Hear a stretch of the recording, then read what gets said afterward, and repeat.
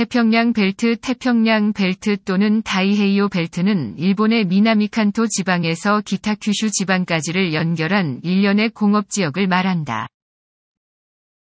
미나미칸토에서 키타큐슈까지 도쿄도 구지역 가와사키시 요코하마시 시즈오카시 하마마스시 나고야시 교토시 오사카시 고베시 오카야마시 히로시마시 기타큐슈시 후쿠오카시 등을 중심으로 공업 상원면에서 대중형급 도시가 늘어서 있으므로 미나미 칸토에서 기타 큐슈에 걸친 도시군을 총칭해 가리키는 경우도 있다.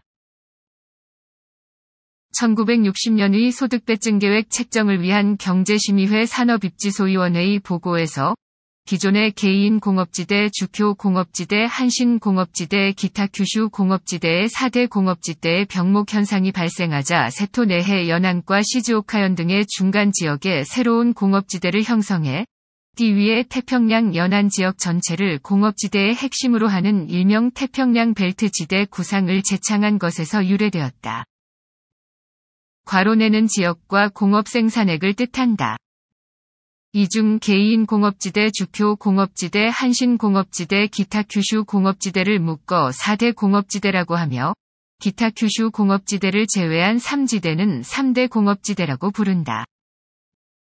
철도, 도로, 항만 등의 교통이나 시설이 정비되어 있으며 일본 전체 인구의 약 60%와 공업 생산액의 약 70%가 집중되어 있다.